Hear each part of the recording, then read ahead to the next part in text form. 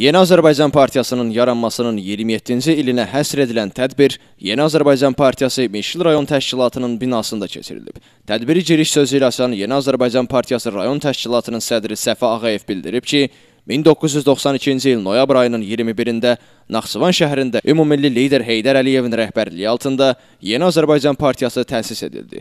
Qısa bir zamanda Respublikanın bütün ərazilərində bu partiyanın yerli təşkilatları yarandı və Heydər Əliyevə sədaqətli olan onun ideyalarını dəstəkləyənlər partiya sıralarına daxil oldular. Həmçinin Azərbaycan Respublikasının prezidenti, Yeni Azərbaycan Partiyasının sədri İlham Əliyevin xidmətlərinin Azərbaycan tarixində və xalqın taleyində mənəvi, siyasi və ictimai həyatında müstəsna rolundan söhbət açılıb.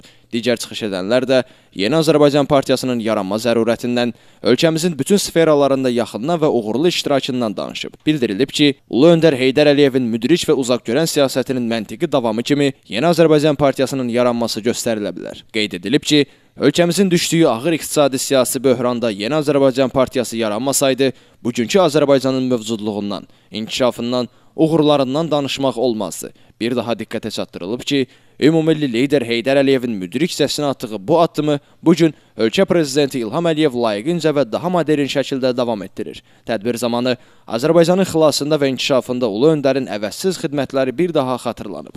Elvin Qudratov, Aydın Yavərzadə, Dünya TV.